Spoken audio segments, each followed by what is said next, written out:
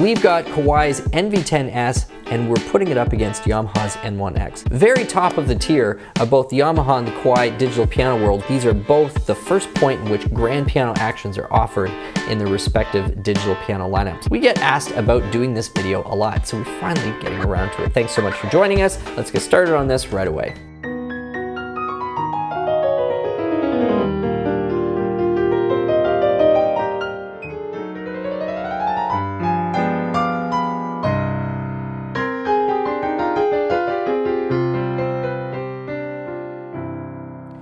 Both of these instruments use their respective companies' flagship tone engines. I think the philosophy with both of these tone engines is that they are taking the source, being their top nine foot concert grands, they're layering on several different uh, digital enhancements in the form of resonance engines to simulate some of those real-time behaviors that otherwise just can't be captured through individual sampling notes. And they're trying to deliver the very best uh, nine foot concert grand tonal simulation that they possibly can. And the whole purpose of both of these instruments, quite clearly, is to deliver as close to a grand piano experience in digital form uh, with a much smaller physical footprint than a grand piano would normally occupy. Now, undoubtedly, some of you at home are going to be asking why these two instruments are in a comparison video anyway, because the Kawai is quite a bit more expensive than the Yamaha. So like, is this really a fair comparison? A couple of interesting points uh, in response to that likely question. So for one, these two are the most compared uh, Novus and Avant Grand series models when it comes to search volume on Google. We used several tools to try and validate this, and it didn't matter what pairing we did, NV10 versus N3X, NV5 versus an N1X, it didn't matter. Nothing came even close to the search volume that we found when we were researching NV10S versus N1X. I think the action is probably the biggest draw for either one of these instruments. And since this is the lowest price point where you can access a grand piano action on the Yamaha side, and this is the lowest price point you can access a grand piano action on the Kawai side, it's likely that people are kind of stuck in a bit of a dilemma between these two because they know that they want a grand piano action and then they're kind of left trying to figure out if everything else that the Kawai brings is worth the extra money, or do you just stay bare bones and get the grand piano action with the Yamaha. On the Kawai, you have the SKEX rendering engine. They've taken their nine foot concert grand and they have made a, a, a stereo, individual stereo recordings um, from several different uh, points of space around that piano. It's kind of like the light version of what the Vienna Symphonic Library's synchron piano approach is. And then they give you several different modes uh, within that rendering engine uh, that they've named. So they don't allow you to get in there and necessarily tinker with mic levels and mic placements. These are presets that they have done to deliver, you know, particular results. Um, and it's basically different mixdowns of all of those sources into the stereo uh, signal that winds up either in your ear through a set of headphones or through the multi-channel output uh, through the rest of the piano. So let's listen a little bit to the NV10S.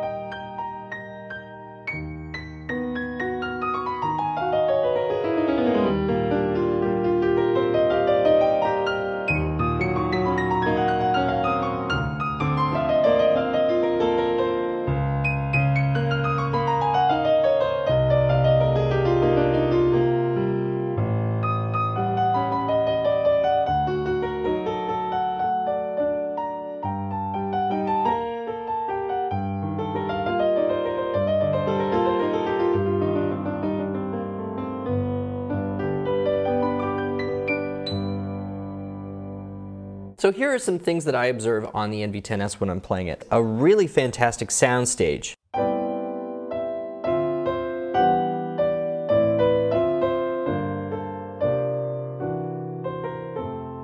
And what I mean by that, or is I guess what most people mean when they use that terminology, is that you're able or your brain is able to actually easily recreate a sense of three-dimensional space. Now, I don't have any headphone enhancement tech turned on at the moment. You actually do have the option to do that in both cases. They've got a different kind of spatialization technology you can apply to headphone, but this is pretty well just raw.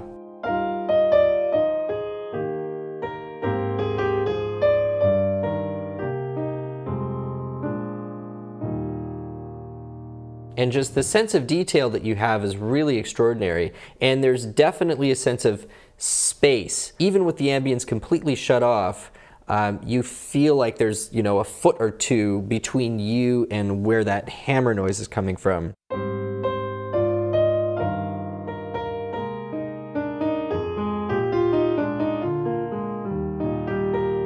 When we get up into the top range of the instrument,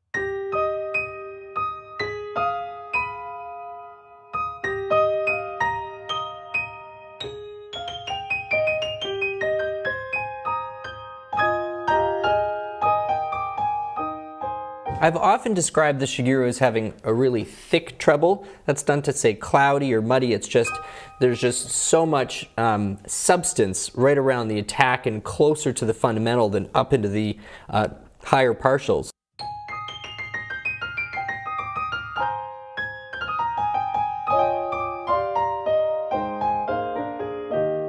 which is a behavior I actually more associate or equally associate uh, with great nine foot Steinways.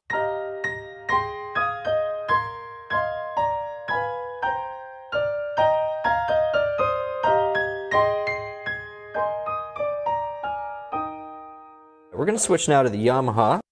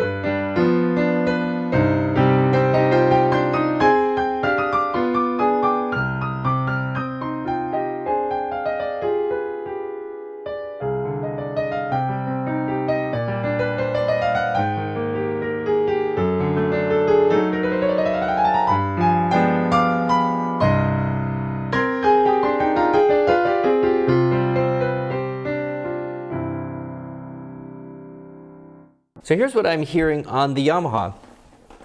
Just like the Kawai, it's a slightly different character in the bass, but still a really nice, clear bass tone, which is great.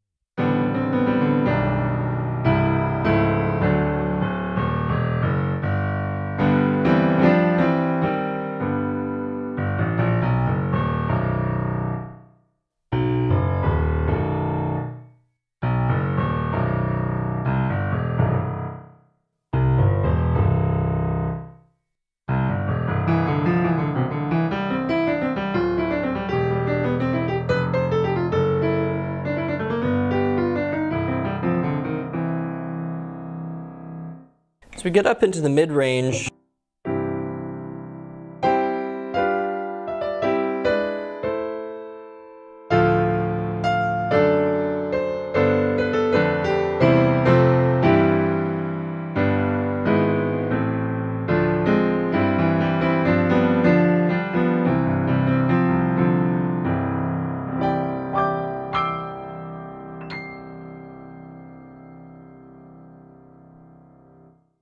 So it's a very tight sound. You know, even if you turn up the uh, ambience, and right now the ambience is actually on about half.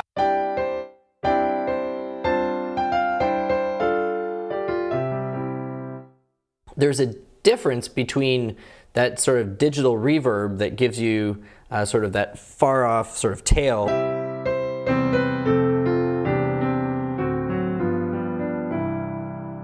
And uh, a, a sense of genuine space between you and the sound source. It's a slightly different thing.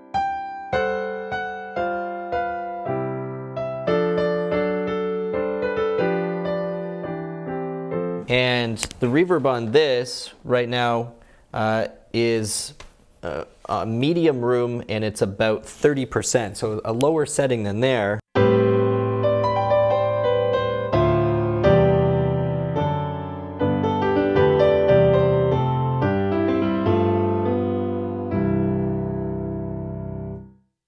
There's just, a, you know, a greater sense of uh, space, not reverb specifically, just space. The treble on here is a little cleaner than what you get on the Kawai.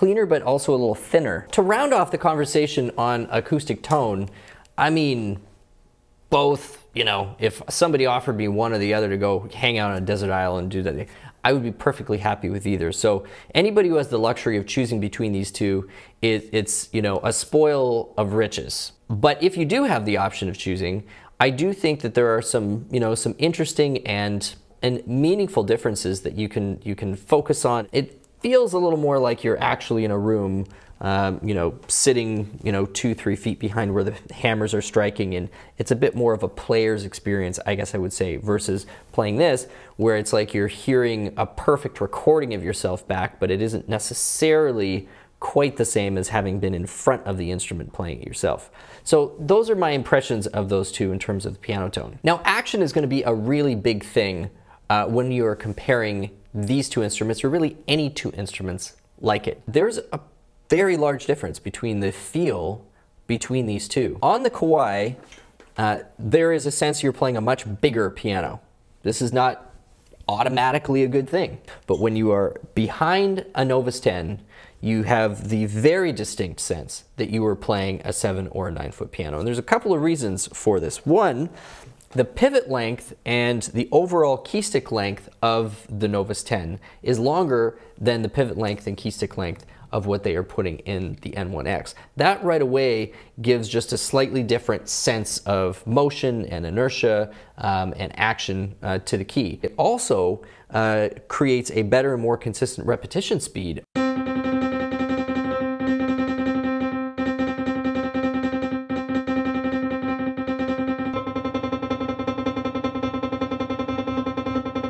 The second thing is the damper simulator on the back of that key, whereas the N1X is not equipped with a damper simulation. Now moving beyond the action, now we really start to get some major gaps in functionality and variety between these two instruments. And this is uh, pretty clearly where Kawai is hoping that people are going to be able to justify the price difference here. Here on the Kawai, we basically have a touchscreen Android powered uh, control surface which gives us full access to every uh, aspect of the playing experience. Uh, we can pick through all of our uh, acoustic piano tones, uh, get into our editor right there, um, or get into the other sounds. Uh, you also have the option of accessing um, a lot of uh, pre-recorded music as well as the lesson books USB uh, music player. Uh, here on the Yamaha, it's a push button control uh, with a pretty basic uh, LCD display. Uh, you do have the ability to do some USB recording. You can combine a couple of sounds together. You've got the metronome functionality, uh, and you do have Bluetooth, but it's about a tenth of what you've got available uh, on the Kawai in terms of uh, functionality and options once, again, once you get out of that acoustic piano realm. In addition, the connectivity differences between these two instruments are pretty significant. On the Kawai, you've got an auxiliary line in with uh, volume control, independent uh, balance control on that. Uh, you have left and right auxiliary outs uh, that are totally separate and independent from the headphone. You've got 3.5 and quarter inch headphone out. Um, so basically two full patch bays on the bottom with the NV10S uh, to manage what's going in and out of the instrument. Uh, on the Avant Grand, there's no option to actually have independent speaker on and off, and you've just got basically your two uh, headphone jacks, both of which are quarter inch. The last big factor we're going to talk about are the speakers. Uh, now Yamaha has 6 by 30 watt rated uh, speakers on this instrument. Now there are three top facing and then there are uh, two bottom facing and one actually rear facing. Uh, it's a little bit hard to identify but if you're looking at the back of the instrument there actually is um, a spot in which you've got some sort of mids and highs uh, coming out to throw up against the wall and get a little more room ambience happening. The speakers are really well balanced. They've managed the stereo image uh, extremely well. Um, the only thing that was a little surprising to me with the Yamaha is at similar volume settings, uh, even though this is hypothetically uh, rated at 180 watts worth of sound, uh, I was not able to get it to overpower the Kawai. In fact, it was quite the opposite. Even though Kawai's only rated it at 130 watts, uh, the Kawai was capable of a significantly uh, greater level of tone and just filling up the room quite a bit more. Particularly, I also felt like that was the case uh, in terms of the bass sound. Uh, now, the position of their woofer is different on the Kawai than it is on the Yamaha. With the Yamaha, it's a downward facing woofer. On the Kawai, they've actually put the woofer right in the lyre uh, facing towards the player. So that may have something to do with uh, just the sense of uh, fullness and power uh, coming at the player. So if anything, the Kawai's got more power, but I did find that I needed to manage uh, some of the high end coming off those four tweeters on the Kawai more than with the Yamaha. The Yamaha, although it felt a little underpowered at times, uh, always felt really nicely balanced without the need to go in and do any tweaking. With the Kawai, I do generally, once I find a sound I really like in headphones, have to do just a little bit of tweaking in terms of uh, touching with the voicing uh, or touching with the overall EQ of the instrument uh, just to get those uh, top end speakers not biting too much. If you're using it at a volume of around 65 or 70% or lower, I actually don't find that to be the case at all. Uh, it's just when we were uh, really running these both up into like the 100% range to just see what the total output was, that's when I noticed uh, that there was definitely some harshness coming off the Kawai. So to summarize, the N1X plays and feels and sounds like a smaller piano. Uh, it feels like a five foot, five foot five uh, grand piano uh, in virtually every aspect that it's, that it's giving me. It's real, it feels extremely well done, the execution is great, uh, I really like the balance. When you get into the NV10S, uh, and I would I would nail this 10 out of 10 times in a blind test. It's like it's not even close. This feels, plays, sounds like a much bigger grand piano. And so for people who are used to a larger grand piano, this is going to be a hands down uh, clear favorite for you. Uh, the sense of motion on the keys is is a is a bigger piano. The way they've mic'd the instrument, the more the, the sound delivers to you. There's more of a sense of space, like there's there's a greater length to the instrument, and your ear is slightly further away uh, from the origin of the tone. In addition to that, if any of the functional and feature differences between the two um, are a big deal, then that's also something where the difference between these two instruments is really clear cut. Do you want like 100 sounds or 10? Do you want, you know, 100 songs or 10? Do you want tons of control and functionality directly on the machine or do you essentially want a, a, a control surface that's pretty similar to what you might find on like a pretty basic uh, console instrument. And finally, maybe there's just a difference in the tone between the two that you prefer. Because of all of the things we've talked about, tone is the one thing where I can't really say to somebody, well, you're absolutely gonna like one or absolutely like the other. Uh, it's such a personal thing. So thanks everybody, hope you found this helpful. To finish things off, we're gonna finish with a speaker demo, uh, playing exactly the same Chopin waltz between the two of them. We're gonna start with the Yamaha, finish with the Kawai, and we're gonna be using uh, Rode NT5s, completely dry, straight to you, no processing.